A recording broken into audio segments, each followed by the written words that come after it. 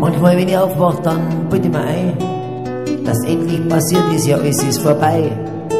Dass die Welt nicht mehr steht und dass keiner mehr lebt.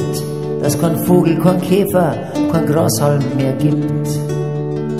Manchmal, wenn ich aufwache, dann bitte ich mir ein, dass sich keiner mehr wehrt. Muss ja nicht sein, dass keiner mehr aufsteht, bloß ergeben und starr. Und ich so bin, wie mein Vater mal war. Manchmal, wenn ich aufwach, dann bitte ich mir ein, dass ich arbeit und buckelt, nicht froh bin und frei. Wie mit 65 Kilo und wart, bis ich stirb. Und meine Kinder bloß wissen wollen, was sie mal kriegen.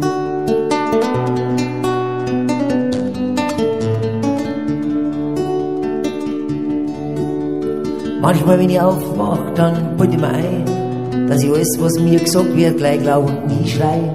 Dass ich im Erdinger Moos einen Flughafen bau und jeden Tag mehr unsere Landschaft versau.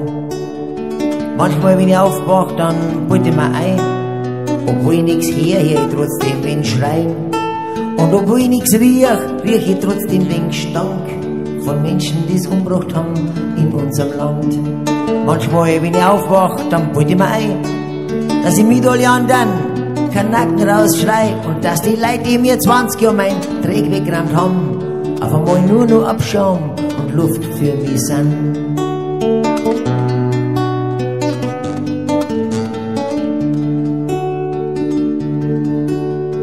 Manchmal, wenn ich aufwach, dann bitte ich mir ein, dass ich mit meinen Kindern nicht rede, sondern schrei. Dass ich ihnen nur lernen, wie man schiedert und kriecht, bis mein Bub seine Kinder genauso erzieht. Ja, und manchmal, wenn ich aufwach, dann wünsche ich mir so, dass mir jemand die Angst nimmt, die Angst vor dem Tag, oder dass mir irgendwer sagt, dass das alles nicht stimmt, was ich jeden Tag wieder mit eigenen Augen sehe.